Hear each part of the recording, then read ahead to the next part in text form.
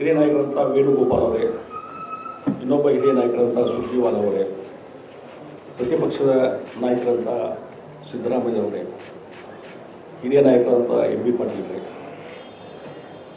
ಮತ್ತು ಇದೀಗ ಜಾಯಿನ್ ಆದಂಥ ಅಮರ್ ಸಿಂಗ್ ಪಾಟೀಲ್ ಅವರೇ, ಮತ್ತು ಇನ್ನಿತರ ಎಲ್ಲ ಹಿರಿಯ ನಾಯಕರು ಮತ್ತು ಇಲ್ಲಿ ಉಪಸ್ಥಿತ ಕಾರ್ಯಕರ್ತ ಬಂಧುಗಳೇ, ಆತ್ಮೀಯ ಮಾಧ್ಯಮದ ಮಿತ್ರರೇ. ಇವತ್ತು ನಾನು ಭಾರತೀಯ ಜನತಾ ಪಾರ್ಟಿ ಬಿಟ್ಟು ಕಾಂಗ್ರೆಸ್ ಪಕ್ಷವನ್ನು ಸೇರ್ತಾ ಇದ್ದೀನಿ. ಭಾಳ ಜನರಿಗೆ ಆಶ್ಚರ್ಯ ಆಗಿದೆ. ರಾಜ್ಯದಲ್ಲಿ ದೇಶದಲ್ಲಿ ಒಬ್ಬ ಮಾಜಿ ಮುಖ್ಯಮಂತ್ರಿ ಹಿಂದೆ ಎರಡು ಬಾರಿ ಪ್ರತಿಪಕ್ಷದ ನಾಯಕರಿದ್ದಂಥ ರಾಜ್ಯದ ಅಧ್ಯಕ್ಷ ಇದ್ದಂಥ ಒಬ್ಬ ವ್ಯಕ್ತಿ ಭಾರತೀಯ ಜನತಾ ಪಾರ್ಟಿಯನ್ನು ಬಿಟ್ಟು ಏಕೆ ಕಾಂಗ್ರೆಸ್ ಪಾರ್ಟಿ ಸೇರ್ತಾ ಇದ್ದಾರೆ ಅನ್ನೋಂಥದ್ದು ಭಾಳಷ್ಟು ಚರ್ಚೆ ನಡೀತಾ ಇದೆ. ನನಗೆ ಬೆಳಗಿಂದ ನಿನ್ನಿಂದ ಹಲವಾರು ಕಡೆಯಿಂದ ಪ್ರೆಷರು ಬಂತು ಆದರೆ ಕಳೆದ ಹಲವಾರು ತಿಂಗಳಿಂದ ಒಬ್ಬ ಹಿರಿಯ ನಾಯಕನಾಗಿ ನನಗೇನು ವೇದನೆ ಆಗಿದೆ ಯಾರೂ ಅರ್ಥ ಮಾಡಿಕೊಳ್ಳಿ ಭಾರತೀಯ ಜನತಾ ಪಾರ್ಟಿಯನ್ನು ಕಟ್ಟಿ ಬೆಳೆಸಿದಂಥ ವ್ಯಕ್ತಿ ನಾನು.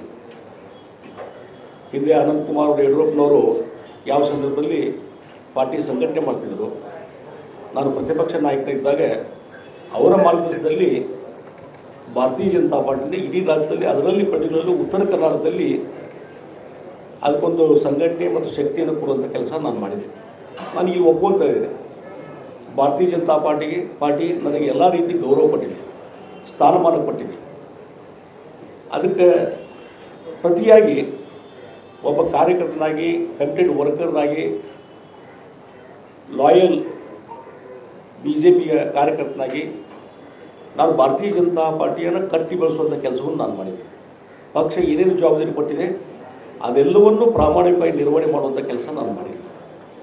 ಆದರೆ, ಆರು ಬಾರಿ ಹುಬ್ಬಳ್ಳಿ ಧಾರವಾಡ ಸೆಂಟ್ರಲ್ ಕ್ಷೇತ್ರ, ಆರು ಬಾರಿ ತೊಂಬತ್ನಾಲ್ಕರಿಂದ ಸ್ಪರ್ಧೆ ಮಾಡಿ, ಅಲ್ಲಿಂದ ಇಲ್ಲಿವರೆಗೆ ಆರು ಬಾರಿ ಚುನಾವಣೆಯಲ್ಲಿ ನಮ್ಮ ಹುಬ್ಳಿ ಗ್ರಾಮೀಣ, ಹುಬ್ಳಿ ಸೆಂಟ್ರಲ್ ಕ್ಷೇತ್ರದ ಜನತೆಯ ಒಂದು ಆಶೀರ್ವಾದದೊಂದಿಗೆ ನಿರಂತರವಾಗಿ ಇಪ್ಪತ್ತರಿಂದ ಇಪ್ಪತ್ತೈದು ಸಾವಿರ ಲೀಡ್ಗಳಿಂದ ಗೆದ್ಕೊಂಡು ಬಂದಿದೆ. ಇದು ಏಳನೇ ಬಾರಿ ಸ್ಪರ್ಧೆ ಮಾಡುವಂಥದ್ದು. ಬಹುಶಃ ಏಳನೇ ಬಾರಿ ನ್ಯಾಚುರಲ್ ಆಗಿ ನಾನು ಕಳೆದ ಎರಡು ವರ್ಷದಿಂದ ಕ್ಷೇತ್ರದಲ್ಲಿ ಓಡಾಡ್ತಾ ಇದ್ದೀನಿ. ಎಲ್ಲ ರೀತಿಯಾದಂಥ ಅಭಿವೃದ್ಧಿ ಕೆಲಸ ಕಾರ್ಯಗಳೆಲ್ಲವೂ ಆಗಿದೆ. ನನಗೇನು ಅನಿಸ್ತು ಒಬ್ಬ ಹಿರಿಯ ನಾಯಕ? ನ್ಯಾಚುರಲ್ ಆಗಿ ಟಿಕೆಟ್ ಸಿಗ್ತದೆ ಅನ್ನುವಂಥದ್ದು. ಅದಕ್ಕೆ ಪ್ರಯತ್ನ ಮಾಡುವಂಥದ್ದು ಮತ್ತೊಂದೇನಿಲ್ಲ ಆದರೆ ಯಾವಾಗ ನಿಮಗೆ ಟಿಕೆಟ್ ಇಲ್ಲ ಅಂತ ಅಂದರು ನನಗೆ ಆಘಾತ ಆಯಿತು. ವೇದನೆ ಆಯಿತು. ಒಂದು ನಾನು ಹೇಳ್ತಿದ್ದೀನಿ, ಒಬ್ಬ ಹಿರಿಯ ನಾಯಕನಿಗೆ ಏನೊಂದು ಟ್ರೀಟ್ಮೆಂಟ್ ಕೊಡಬೇಕಾಗಿತ್ತು. ಅದು ಆಗಲಿಲ್ಲ ಅನ್ನೋದು ಒಂದು ಇದೆ ಇಲ್ಲ, ಜಗದೀಶ್ ಶೆಟ್ಟರೆ ನಿಮ್ಮ ಸರ್ವಿಸನ್ನು ಪಕ್ಷದ ರಾಷ್ಟ್ರ ಮಟ್ಟದಲ್ಲಿ ಬೇರೆ ಉಪಯೋಗ ಅಥವಾ ನಿಮಗೆ ಬೇರೆ ಇನ್ನತ, ಇನ್ನು ಉನ್ನತ ಹುದ್ದೆಗಳನ್ನು ಕೊಡ್ತೀವಿ. ಅದಕ್ಕೆ ಈ ಸಲ ನೀವು ಚುನಾವಣೆಗೆ ನಿಲ್ಲೋದು ಬೇಡ. ಆ ರೀತಿ ಒಂದು ವಾರ ಮುಂಚೆ, ಒಂದು ಹದಿನೈದು ದಿವಸ ಮುಂಚೆ ಕರೆದು ಕುಂದರಿಸಿ, ಬಹುಶಃ ವರಿಷ್ಠರಾಗಲಿ, ರಾಜ್ಯದ ನಾಯಕರಾಗಲಿ ಹೇಳಿದರೆ, ನಾನು ಹೇಳ್ತಿದ್ದೆ, ನಾನು ಅಧಿಕಾರ ಲಾಲಸಿಯಿಂದ ರಾಜಕಾರಣಕ್ಕೆ ಬಂದವನು. ಜನಸಂಘದಿಂದ ನಮ್ಮ ಕುಟುಂಬ ಈ ಒಂದು ಜನಸಂಘ ಬಿ ಜೆ ಪಿಯಲ್ಲಿದೆ ಯಾವಾಗ ಅರವತ್ತೇಳನೇ ಇಸ್ವಿಂದ ನಮ್ಮ ಅಂಕಲ್ ಸದಾಶ್ ಶೆಟ್ಟರು ಅವತ್ತು ಎಂ ಎಲ್ ಆಗಿದ್ದರು ಜನಸಂಘದಿಂದ ಫಸ್ಟ್ ಟೈಮ್ ದಕ್ಷಿಣ ಭಾರತದಲ್ಲಿ. ನಮ್ಮ ತಂದೆಯವರು ಐದು ಸಾರಿ councillor Hubballi Dharwad corporate councillor ಎಪ್ಪತ್ತಾರನೇ ಇಸ್ವಿಯಲ್ಲಿ ಜನಸಂಘದ ಫಸ್ಟ್ ಮೇಯರ್ ಆಗಿದ್ದರು ಅವರು ದಕ್ಷಿಣ ಭಾರತದಲ್ಲಿ. ಆ ಕುಟುಂಬದಿಂದ ಬಂದಂಥವ್ರು. ಮತ್ತು ನಾನು ಸಂಘ ಪರಿವಾರದಿಂದ ಬಂದಂಥ ವ್ಯಕ್ತಿ. ರಾಷ್ಟ್ರೀಯ ಸ್ವಯಂ ಸೇವಕ ಸಂಘದ ಕೆಲಸನೂ ಮಾಡಿದ್ದೀನಿ ಕೆಲಸವನ್ನು ಮಾಡಿದ್ದೀನಿ. ಮತ್ತು ಅದಕ್ಕಿಂತ ಹೆಚ್ಚು ಅಖಿಲ ಭಾರತೀಯ ವಿದ್ಯಾರ್ಥಿ ಪರಿಷತ್ ಕ್ರಿಯಾಶೀಲವಾದಂಥ ಸ್ವಯಂಶೀಲ. ಈ ರೀತಿ ಬ್ಯಾಕ್ಗ್ರೌಂಡ್ ಇರುವಂಥ ವ್ಯಕ್ತಿಯನ್ನು ಯಾಕೆ ಕಡೆಗಡೆ ಆಗ್ತಾ ಇದೆ ಅನ್ನೋದು ಆಗಲಿಲ್ಲ. ಕಳೆದ ಆರು ತಿಂಗಳು ನಾನು ನೋಡ್ತಾ ಇದ್ದೀನಿ. ಒಂದು ರೀತಿ ವೇದನೆ. ಯಾವ ರೀತಿ ಒಂದು ಗೌರವದಿಂದ ನಡ್ಕೋಬೇಕಾಗಿತ್ತು ನನಗೇನು ಅಧಿಕಾರ ಬೇಕಾಗಿಲ್ಲ, ಮತ್ತೊಂದು ಬೇಕಾಗಿಲ್ಲ. ಅಥವಾ ಹಠಕ್ಕೆ ಬಿದ್ದು ನಾನು ಎಂ ಎಲ್ ಎ ಆಗೋದು, ಮತ್ತೊಂದು ಆಗೋದು ಬೇಕಾಗಿಲ್ಲ. ಜನತೆ ಆಶೀರ್ವಾದ ಇದೆ. ಆದರೆ ಕೊನೆಗಳಿಗೆ ಹದಿಮೂರು ತಾರೀಕಿಗೆ ನಾಮಿನೇಷನ್ ಕೊಡಬೇಕು ಸ್ಟಾರ್ಟ್ ಹನ್ನೊಂದನೇ ತಾರೀಕಿಗೆ ನಮ್ಮ ರಾಜ್ಯದ ಉಸ್ತುವಾರಿಗಳು ಹೇಳ್ತಾರೆ, ಜಗದೀಶ್ ಶೆಟ್ಟರೆ, ನಿಮಗೆ ಈಶ್ವರಪ್ಪನವರಿಗೆ ಟಿಕೆಟ್ ಇಲ್ಲ. ಟಿಕೆಟ್ ಇಲ್ಲ ನಿಮಗೆ. ತಕ್ಷಣವೇ ಒಪ್ಪಿಗೆ ಪತ್ರವನ್ನು ಕಳಿಸ್ಕೊಡಿ. ಮುಂದೆ ಪ- ಮಾಡಿ ಅಂತ. ಒಬ್ಬ ಚಿಕ್ಕ ಬಾಲಕನಿಗೆ ಹೇಳುವ ರೀತಿಯಲ್ಲಿ ಈ ರೀತಿ ಹೇಳಿದರೆ ಏನು ಅಪಮಾನ ಹೋಗೋದು? ಒಂದು ವಾರ ಮುಂಚೆ, ಇಲ್ಲ, ನಾವು ಡಿಸೈಡ್ ಮಾಡಿದ ಪಾರ್ಟಿಯವರು ಎಸ್ ನೀವು ಬೇರೆ ಜವಾಬ್ದಾರಿ ಕೊಡ್ತೀವಿ. ಬೇರೆ ಅವಕಾಶ ಕೊಡ್ತೀವಿ. ದಯವಿಟ್ಟು ಈ ಒಂದು ಚುನಾವಣಾ ರಾಜಕೀಯದಿಂದ ಹೊರಗೆ ಬನ್ನಿ.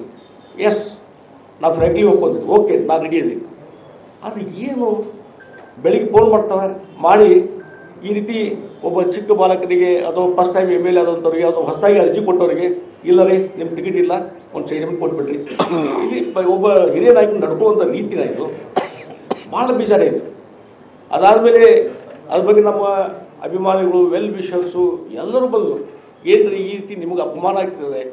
ಎರಡನೇ ಲಿಸ್ಟ್ ಬಂತು. ಎರಡನೇ ಲಿಸ್ಟ್ ಇಲ್ಲ. ಯಾವ ರೀತಿ ನಡ್ಕೊಳ್ಳುವಂಥದ್ದು? ನಾನು ಯಾವಾಗ ಅಭಿಮಾನಿಗಳ ಒಂದು ಒತ್ತಡ ಜಾಸ್ತಿ ಆಯಿತು ನನಗೆ ಕರೆಸುವಂಥದ್ದು, ಮಾತುಕತೆ ಮಾಡುವಂಥದ್ದು, ನಮ್ಮ ಮನೆಗೆ ಹಿರಿಯ ನಾಯಕರು ಬರುವಂಥದ್ದು, ಇದೆಲ್ಲ ಪ್ರೊಸೆಸ್ ಸ್ಟಾರ್ಟ್ ಆಯಿತು. ಇದು ಮೊದಲೇ ಮೊದಲೇ ಯಾಕೆ ಆಗಿಲ್ಲ? ಮೊದಲೇ ಆಗಬೇಕಾಯ್ತಲ್ಲ ಇದು? ಈ ರೀತಿ ಆದಾಗ ಭಾಳ ಬೇಜಾರ್ಕೊಂಡು, ಬೇಜಾರು ಮಾಡಿಕೊಂಡು ನಾನು ಡಿಸೈಡ್ ಮಾಡಿದ್ದೆ. ನನಗೆ ನಮ್ಮ ಜನತೆಯ ಒಂದು ಸ್ವಾಭಿಮಾನಕ್ಕೆ ಪೆಟ್ಟು ಬಂದ ಜಗದೀಶ್ ಶೆಟ್ಟರ್ ನನ್ನ ಮೇಲೆ ಏನು ವಿಶ್ವಾಸ ಇಟ್ಟಿದ್ರು ಜನರಿಗೆ, ಅವ್ರ ಸ್ವಾಭಿಮಾನಕ್ಕೂ ಪೆಟ್ಟು, ನನಗೂ ಪೆಟ್ಟು, ಒಬ್ಬ ಹಿರಿಯ ನಾಯಕನಾಗಿ ಸ್ವಾಭಿಮಾನಕ್ಕೆ. ಅದಕ್ಕಾಗಿ ನಾನು ಎಲ್ಲರ ಒಂದು ಅಭಿಪ್ರಾಯ ತಗೊಳ್ಳೋದು ನಮ್ಮ ಜನರ ಅಭಿಪ್ರಾಯ ವೆಲ್ ವಿಶಸ್ ಅಭಿಪ್ರಾಯ ತೆಗೆದುಕೊಂಡು ಒಂದು ನಿರ್ಧಾರಕ್ಕೆ ಬಂದೆ. ಅಷ್ಟೊತ್ತಿಗೆ ನಮ್ಮ ಎಂ ಬಿ ಪಾಟೀಲ್ರು ಮತ್ತು ನಮ್ಮ ಸುರ್ಜೀವಾಲ್ ಅವರು ಮತ್ತು ಸಿದ್ದರಾಮಯ್ಯನವರು ಡಿ ಕೆ ಶಿವಕುಮಾರ್ ಅವರು ನನ್ನ ಕಾಂಟ್ಯಾಕ್ಟ್ ಮಾಡಿದರು. ಇಲ್ಲ ಶೆಟ್ಟಿ ನೀವು ನಮ್ಮ ಪಾರ್ಟಿಗೆ ಬಂದುಬಿಡ್ರಿ. ಒಳ್ಳೇದಾಗ್ತದೆ. ಈ ರೀತಿ ನಿಮ್ಮ ಸ್ವಾಭಿಮಾನಕ್ಕೆ ಧಕ್ಕೆ ಆಗಿದೆ. ನಿಮ್ಮ ಜನತೆಯ ಸ್ವಾಭಿಮಾನಕ್ಕೆ ಧಕ್ಕೆ ಆಗಿದೆ. ಬಂದುಬಿಡಿ ಅಂದಾಗ ನಾನು ಬೇರೆ ದಾರಿ ಇಲ್ಲ ಎಸ್ ಯಾವ ಪಕ್ಷ ನಾವು ಕಟ್ಟಿ ಬೆಳೆಸಿದ್ವಿ ಆ ಮನೆಯಿಂದ ಒತ್ತಾಯದಿಂದ ನಮ್ಮ ಹೊರಗೆ ಹಾಕ್ತಾ ಅಂತಂದರೆ ಇನ್ನು ಬೇರೆ ದಾರಿ ಇಲ್ಲ.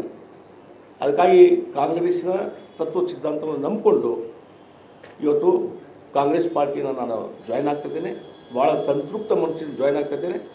ಅವರೆಲ್ಲ ಸಹಕಾರವನ್ನು ನಾನು ಕೇಳ್ತಾ ಇದ್ದೇನೆ. ಮತ್ತು ಒಂದು ನಾನು ಹೇಳ್ತೀನಿ, ಇಲ್ಲಿ ಇವತ್ತೇನಾಗಿದೆ ಭಾರತೀಯ ಜನತಾ ಪಾರ್ಟಿ, ನಾವು ಯಾವಾಗಲೂ ಪಕ್ಷ ಮುಖ್ಯ, ವ್ಯಕ್ತಿ ಮುಖ್ಯ ಅಲ್ಲ ಅಂತ ಹೇಳ್ಕೊಂಡು ಬಂದವರು.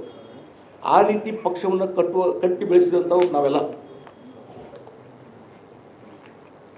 ಆ ರೀತಿ ಪಕ್ಷವನ್ನು ಕಟ್ಟಿ ಬೆಳೆಸಿ ಪಕ್ಷ ಮುಖ್ಯ ಅಂತ ನಾವು ಬೆಳವಣಿಗೆ ತೊಗೊಂಡ್ತೀವಿ ಆದರೆ ಇವತ್ತು ಕರ್ನಾಟಕ ರಾಜ್ಯದಲ್ಲಿ ಏನಾಗ್ತಾ ಇದೆ ಅಂದರೆ, ಇವತ್ತು ಪಕ್ಷ ಮುಖ್ಯ ಅಲ್ಲ ಕೆಲವು ವ್ಯಕ್ತಿಗಳು ಮುಖ್ಯ ಅನ್ನುವಂಥ ರೀತಿಯಲ್ಲಿ ಬೆಳವಣಿಗೆ ಆಗ್ತಾ ಇದೆ. ಅದು ನಮಗೆ ವೇದನೆ ತಂದಿದೆ.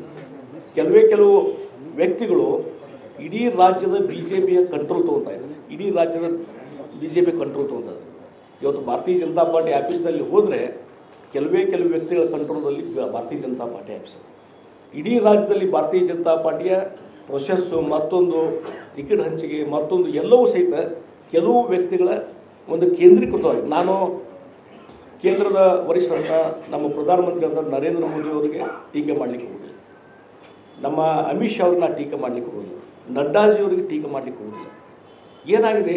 ಇಲ್ಲಿಯ ಬೆಳವಣಿಗೆ ಬಹುಶಃ ಅವ್ರ ಗಮನಕ್ಕೆ ಬರ್ತ, ಬಂದಿಲ್ಲ ಅಂತ ನಾನು ತಿಳ್ಕೊಂಡಿದ್ದೀನಿ ಇಲ್ಲಿ ಏನೋ ಒಂದು ಕೆಲವು ವ್ಯಕ್ತಿಗಳು ತಮ್ಮ ಹಿತಾಸಕ್ತಿಗಾಗಿ ತಮ್ಮ ಹಿತಾಸಕ್ತಿಗಾಗಿ ಪಕ್ಷದ ಬೆಳವಣಿಗೆನ ಕುಂದು ತರಲಿಕ್ಕೆ ಪ್ರಯತ್ನ ಮಾಡ್ತಾರಲ್ಲ ಬಹುಶಃ ನಮ್ಮ ಹಿರಿಯರ ವರಿಷ್ಠರಿಗೆ ಗಮನಕ್ಕೆ ಬಂದಿಲ್ಲ.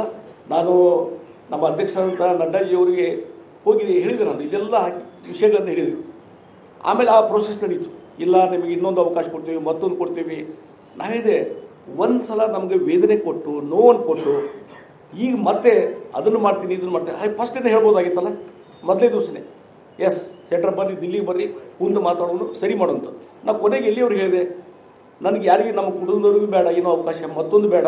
ನನಗೇನು ಅಧಿಕಾರ ಬೇಡ. ನಾನು ಮುಖ್ಯಮಂತ್ರಿನೂ ಆಗಿಬಿಟ್ಟಿದ್ದೀನಿ, ಮಂತ್ರಿನೂ ಆಗಿದ್ದೀನಿ. ನನಗೆ ಯಾವುದೇ ಅಧಿಕಾರ ಬೇಡ. ಕಳೆದ ಎರಡು ವರ್ಷದಿಂದ ಬೊಮ್ಮಾಯಿಯವರು ಮುಖ್ಯಮಂತ್ರಿ ಆದಮೇಲೆ ನಾನೇ ವಾಲಂಟರಿ ಸ್ಟೇಟ್ಮೆಂಟ್ ಕೊಟ್ಟೆ. ನಾನು ಬೊಮ್ಮಾಯಿಯರ ಕ್ಯಾಬಿನೆಟ್ನಲ್ಲಿ ನಾನು ಮಂತ್ರಿ ಆಗೋಲ್ಲ ಅಂತ ವಾಲಂಟರಿ ಸ್ಟೇಟ್ಮೆಂಟ್. ಯಾಕೆ ಕೊಟ್ಟೆ? ಅಧಿಕಾರ ಬೇಕಾಗಿದ್ದರೆ, ಹಠ ಹಿಡಿದಿದ್ದರೆ ನಾನು ಮಂತ್ರಿ ಆಗ್ಬೋದಾಗಿತ್ತು. ಅವತ್ತು ಯಾಕೆ ಆ ರೀತಿ ಸ್ಟೇಟ್ಮೆಂಟ್ ಕೊಟ್ಟೆ? ಮತ್ತು ಎರಡು ವರ್ಷದಿಂದ ಪಕ್ಷದ ಸಹಕಾರ, ಪಕ್ಷಕ್ಕೆ, ಸಂಘಟನೆಗೆ ಕೊಡುಗೆಯನ್ನು ಕೊಟ್ಟು ಸರ್ಕಾರಕ್ಕೂ ಯಾವುದೇ ರೀತಿ ತೊಂದರೆ ಆಗದ ರೀತಿಯಲ್ಲಿ ನಡ್ಕೊಂಡು ಬರುವಂಥದ್ದಕ್ಕೂ ಅವಕಾಶ ಕೊಟ್ಟಿದೆ. ಇಷ್ಟೆಲ್ಲ ಆದಮೇಲೂ ಈ ರೀತಿ ಇಲ್ಲಿ ಟ್ರೀಟ್ಮೆಂಟ್ ನೋಡಿದರೆ ಬಹುಶಃ ಜಗದೀಶ್ ಶೆಟ್ಟರು ಪಕ್ಷದಲ್ಲಿ ಇರೋದು ಬೇಡ. ಯಾಕಂದರೆ ಇವತ್ತು ಯಡಿಯೂರಪ್ಪರ ಬಗ್ಗೆ ನಂಗೆ ಗೌರವ ಇದೆ. ಅವ್ರು ನಮ್ಮ ಹಿರಿಯ ನಾಯಕರು, ಅವ್ರ ಬಗ್ಗೆ ನಂಗೆ ಗೌರವ ಇದೆ. ಇವತ್ತು ಅವ್ರ ಪಕ್ಷವನ್ನು ಕಟ್ಟಿ ಬೆಳೆಸಿದ್ದಾರೆ. ಅವ್ರ ಜೊತೆ ಕೈ ಜೋಡಿಸ್ಕೊಂಡು ನಾನು ಪಕ್ಷವನ್ನು ಬೆಳೆಸಿದ್ದೀನಿ. ಹೀಗಾಗಿ ಇವತ್ತು ಏನಾಗಿದೆ ಅಂದರೆ ಯಡಿಯೂರಪ್ಪನವರು ಈ ಚುನಾವಣಾ ರಾಜಕೀಯದಿಂದ ನಿವೃತ್ತಿಯಾಗಿದ್ದಾರೆ. ಈಗ ಅವ್ರ ನಂತರ ಇವತ್ತು ಪಕ್ಷದ ಒಂದು ವ್ಯವಸ್ಥೆಯಲ್ಲಿ ಸೀನಿಯಾರಿಟಿಯಲ್ಲಿ ನಾನೇ ನೆಕ್ಸ್ಟ್ ಬರುವಂಥದ್ದು ಮತ್ತು ಸಮಾಜದ ಮುಖಂಡರಲ್ಲಿ ನಾನೇ ನೆಕ್ಸ್ಟ್ ಬರುವಂಥದ್ದು ಈ ಹಿನ್ನೆಲೆ ಇಟ್ಟುಕೊಂಡು ಬಹುಶಃ ಯಾರಿಗೂ ಅನಿಸಿರ್ಬೋದು. ಇವರೇನಾದ್ರು ಮತ್ತೆ ಎಂ ಎಲ್ ಎ ಆದರೆ ಇವರೇ ಹಿರಿಯ ನಾಯಕರಾಗ್ತಾರೆ ಅನ್ನುವಂಥದ್ದು ಒಂದು ಇರ್ಬೋದು. ಹೀಗೆಲ್ಲ ಈ ಎಲ್ಲ ವಿಚಾರಗಳ ಕ್ರೋಢೀಕರಣವಾಗಿ ನನ್ನನ್ನು ಪಕ್ಷದ ವ್ಯವಸ್ಥಿತವಾಗಿ ಹೊರಗೆ ಹಾಕುವಂಥ ಕೆಲಸ ಆಯಿತು. ಅದಕ್ಕೆ ವೇದನೆ ಆಗಿದೆ. ಅದಕ್ಕೆ ಇನ್ನೂ ಹಲವಾರು ವಿಚಾರದ ಬೇರೆ ಬೇರೆ ಹಂತದಲ್ಲಿ ನಾನು ಮಾತಾಡ್ತೀನಿ. ಈಗ ಸೇರ್ಪಡೆ ಆಗುವಂಥ ಸಂದರ್ಭದಲ್ಲಿ ಈ ರೀತಿ ನೋವನ್ನು ಅನುಭವಿಸಿ ಬರ್ತಾ ಬಂದಿದ್ದೇನೆ. ಹಾಗಾಗಿ ಎಲ್ಲಿ ನಮಗೆ ಹೇಳಬೇಕು, ನಾ ಕೊನೆಗೆ ಒಂದೇ ಒಂದು ಲಾಸ್ಟ್ ಹೇಳುವಂಥದ್ದು. ನಾ ಎಲ್ಲಿಯವರು ಹೇಳಿದೆ, ಇವತ್ತು ನಮ್ಮ ಸ್ವಾಭಿಮಾನಕ್ಕೆ ಧಕ್ಕೆ ಆಗಿದಲ್ಲ ನಾನು ಕೆ ನಮ್ಮ ಹಿರಿಯ ಮುಖಂಡರು ಬಂದಾಗ ಹೇಳಿದೆ ನಾನು ಕೊನೆಗೆ ಇಲೆಕ್ಷನ್ ನಿಲ್ತೀನಿ ನಾನು. ನಂಗೆ ಬೇರೆ ಯಾವುದೂ ಬೇಡ. ಯಾವುದೇ ಅಧಿಕಾರ ಬೇಡ, ನಮ್ಮ ಕುಟುಂಬದವ್ರು ಯಾರೇ ಅಧಿಕಾರ ಬೇಡ. ಒಂದೇ ಒಂದು ನಾನು ಕಂಡೀಷನ್ ಹಾಕಿದ್ದು ಲಾಸ್ಟ್ ನಾನು ಎಂ ಎಲ್ ಎ ಎಲೆಕ್ಷನ್ ನಿಂತು ಆರು ತಿಂಗಳು ಎಂ ಎಲ್ ಆಗಿರ್ತೀನಿ. ನನ್ನ, ನಮ್ಮ ಒಂದು ಏನೋ ಒಂದು ಅಪಮಾನ ಆಗಿದೆ. ಒಂದು ಗೌರವ ಪ್ರಶ್ನೆ. ಆರು ತಿಂಗಳು ಆದಮೇಲೆ ನೀವು ಹೇಳಿದಾಗ ರಾಜೀನಾಮೆ ಕೊಟ್ಟು ಹೋಗ್ತೀನಿ. ಯಾರಾದರೂ ಎಂ ಎಲ್ ಎ ಮಾಡಿ. ನಾನು ರಾಜಕಾರಣದ ಇದ್ದು ಐದು ಸರಿತೀನಿ ಅಂತ ಅದಕ್ಕೂ ಆಸ್ಪದ ಕೊಡುವುದಿಲ್ಲ ಅಂತಂದರೆ ಎಷ್ಟೊಂದು ವೇದನೆ ಆಗಿರ್ಬೋದು ನೀವು ಅರ್ಥ ಮಾಡಿಕೊಡ್ರಿ. ಆ ಹಿನ್ನೆಲೆಯಲ್ಲಿ ಇವತ್ತು ಪಕ್ಷವನ್ನು, ಇವತ್ತು ತ್ಯಜಿಸಿ, ನಮ್ಮ ಭಾರತೀಯ ಜನತಾ ತ್ಯಜಿಸಿ ಕಾಂಗ್ರೆಸ್ ಪಕ್ಷಕ್ಕೆ ಇವತ್ತು ನಾನು ಜಾಯ್ನ್ ಆಗ್ತಾ ಇದ್ದೇನೆ.